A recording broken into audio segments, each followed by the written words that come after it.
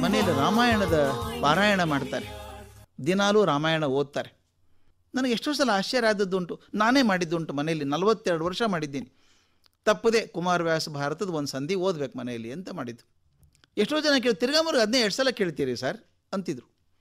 ಆಗ ನನಗೆ ನೆನಪಾದದ್ದು ಏನು ಮೂರ್ತಿ ರಾಯರು ಬರೆದಂಥ ಒಂದು ಸಣ್ಣ ಘಟನೆ. ಅದ್ಭುತ ಘಟನೆ ಅದು. ಮೂರ್ತಿ ರಾಯರು ಬರೀತಾರೆ, ಮೈಸೂರಲ್ಲಿ ಸುಬ್ಬಯ್ಯನ ಕೆರೆ ಅಂತ ಒಂದು ಕೆರೆ ಇದೆ. ಇದು ಹಳೆ ಕತೆ ಇದು, ಅವಾಗಿನ ಕಾಲದ್ದು, ಐವತ್ತು, ಅರವತ್ತು ವರ್ಷನೋ, ಎಪ್ಪತ್ತು ವರ್ಷ ಹಿಂದೆ ಆದಂಥದ್ದು. ಆ ಕೆರೆ ದಂಡೆ ಮೇಲೆ ಒಂದು ಹಾಳು ಮಂಟಪ ಇದೆ. ಕೆಲವರು ಸಾಯಂಕಾಲ ವೃದ್ಧರು ಕೂತ್ಕೋತಾರೆ, ವಯಸ್ಸಾದವ್ರು ಕೂತ್ಕೊಂಡು ಸಮಯ ಕಳಿಬೇಕಲ್ಲ, ಹಾಳು ಮಂಟಪದಲ್ಲಿ ಯಾರೋ ಒಬ್ಬರು ಕರೆಸಿ ಒಂದು ಹರಿಕತೆ ಮಾಡಿಸ್ತಾರೆ. ಜನ ಒಂದು ಐವತ್ತಾರು ಜನ ಕೂತ್ ಕೇಳ್ತಾ ಇರ್ತಾರೆ, ಹರಿಕತೆ ಕೇಳಬೇಕು. ಹೀಗೊಂದು ದಿವಸ ಹರಿಕತೆ ನಡೆದಿದೆ. ಪುರೋಹಿತರು ಅದ್ಭುತವಾಗಿ ಕತೆ ಹೇಳ್ತಿದ್ದಾರೆ.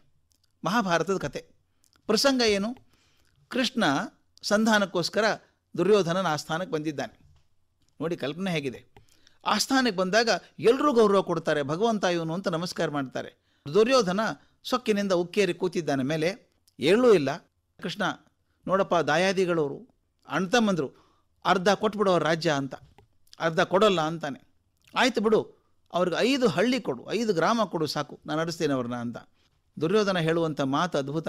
ನೋಡಪ್ಪ, ಐದು ಹಳ್ಳಿ ಅಲ್ಲ ಒಂದು ಸೂಜಿ ಮೊನೆಗೆ ತಗುಲುವಷ್ಟು ಮಣ್ಣನ್ನು ಕೂಡ ಕೊಡೋದಿಲ್ಲ ಅದನ್ನು ಅಮ್ಮನ ತಮ್ಮಂದರಿಗೆ ಅಂತ ಹೇಳ್ತಾನೆ. ಈ ಕಥೆ ಇಷ್ಟು ರೋಮಾಂಚಕವಾಗಿ ಹೇಳ್ತಾ ಇದ್ರು, ರಂಜನೀಯವಾಗಿ ಹೇಳ್ತಾ ಇದ್ರು ಪುರೋಹಿತರು ಅಂದರೆ ಅಲ್ಲಿ ಕೂತಿದ್ರಲ್ಲ ಕೇಳೋ ಹಿರಿಯರು, ಒಬ್ಬ ಬದುಕರೆದು ನಿಂತ್ಕೊಂಡ್ಬಿಟ್ರು. ನಿಂತ್ಕೊಂಡು ಜೋರು ಜೋರಾಗಿ ಕೂಗೋಕೆ ಶುರು ಮಾಡಿದ್ರಂತೆ, ಏ ದುರ್ಯೋಧನ, ಹಾಳಾಗಿ ಹೋಗ್ತೀಯೋ?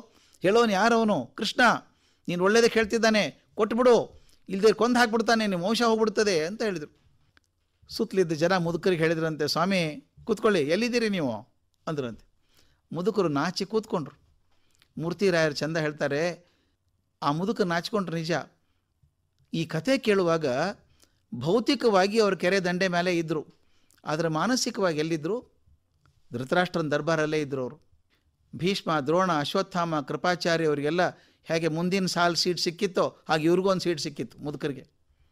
ಅದಕ್ಕಿಂತ ಹೆಚ್ಚಂದರೆ ಅವ್ರಿಗೆ ಯಾರಿಗೂ ಹೇಳೋ ಧೈರ್ಯ ಇರಲಿಲ್ಲ, ದುರ್ಯೋಧನ ಹೇಳೋದು, ಈ ಮುದುಕರಿಗೆ ಧೈರ್ಯ ಬಂದಿತ್ತು. ಹಾಳಾಗಿ ಹೋಗ್ತೀವೋ ಅಂತ ಹೇಳ್ತಿದ್ರು.